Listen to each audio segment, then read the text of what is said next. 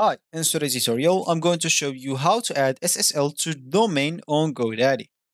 So before we start, of course, the first thing that you would like to do is just go and open whatever browser you are going to use to follow this tutorial steps with.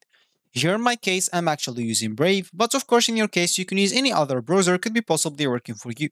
Once you open that browser, make sure to go into this URL section, simply type godaddy.com and hit the enter button.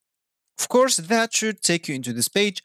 And if you're facing any issues with the language, as I faced in my first time in this website, you'll have to scroll down until the bottom of it and make sure to change the country or region, which will take the or which will change the language with it. Of course, if you want even to change the currency, this will be possible. So now uh, you will have to go back and log in into your account if you have one. And if you don't have an account, you'll have to go and create one. Of course, you will be able to do both options as this top right corner option, you will find the option to create or even log in into your account. Once you did one of those two options, you'll find yourself on this screen, which is going to be your home screen or your main screen on the on GoDaddy website. So as you said in the beginning of this tutorial, we would like to add an SSL to domain. So the first thing is you would like to go to our products page, click at your name right here at the top right corner, click at my products, and then you'll find yourself at this page.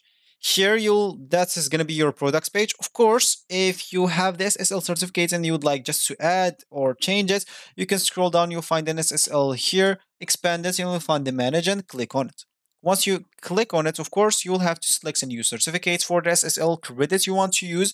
Then on the, the certificate setup page, select input CSR and paste your CSR into the box and select continue to open the prove domain control. Or you can simply just go and click at your like your business or your domain name right here and you can even go and buy one and don't hurt your brain if you don't want to. Of course, once you're here, oh sorry, not this one, my bad. So you'll have to go to click at manage. And let's just wait for the page until it loads. And of course, if you scroll down, you will find the SSL certificates option. As you can see, this one, you can get one if you want. If you want to add a new one for you, and you can here check for the plans that they have and just go and learn more about this. Of course, this will be in your uh, cards and then you can buy it whenever you want. So, or add it whenever you want. So this will be actually for this tutorial. Hope you like it. Thank you guys for watching and goodbye.